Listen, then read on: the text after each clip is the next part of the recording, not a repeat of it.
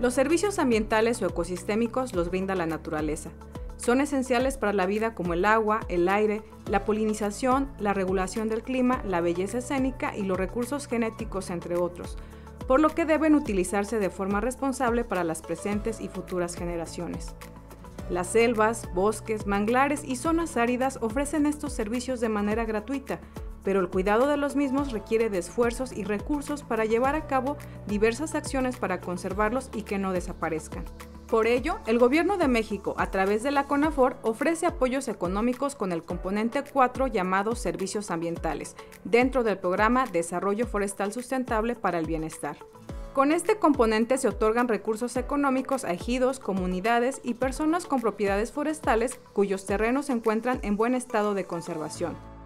El objetivo es que ellos mismos realicen buenas prácticas de conservación y manejo de los recursos naturales para mantener la salud de los ecosistemas forestales y no solo esto, sino que con actividades que se realicen se promueva el desarrollo económico y social de sus habitantes. A esto se le llama conservación activa.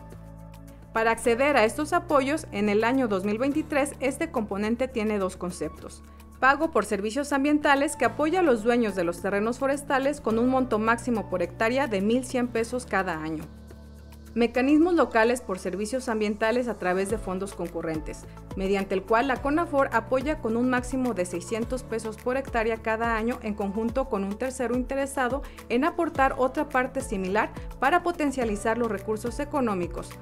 Puede ser un gobierno estatal o municipal, empresas, asociaciones civiles u otros. Las personas que son beneficiadas con estos recursos deben hacer actividades obligatorias como integración y equipamiento de una brigada de incendios forestales, monitoreo y detección de plagas y enfermedades en los ecosistemas, recorridos de vigilancia contra la tala clandestina, proteger a la fauna silvestre, entre otras.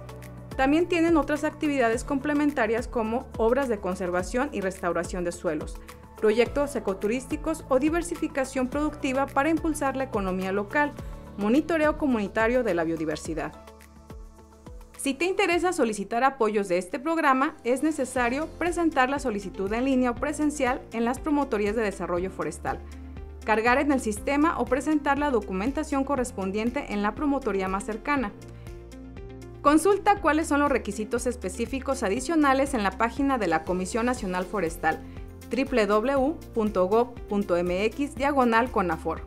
Para presentar la solicitud de apoyo puedes acudir a las oficinas receptoras de las promotorías de desarrollo forestal de la CONAFOR o bien, si lo prefieres, de manera virtual en la página de Internet. Para más información del componente 4, Servicios Ambientales, marca al 800-649-0127. Comisión Nacional Forestal. Gobierno de México.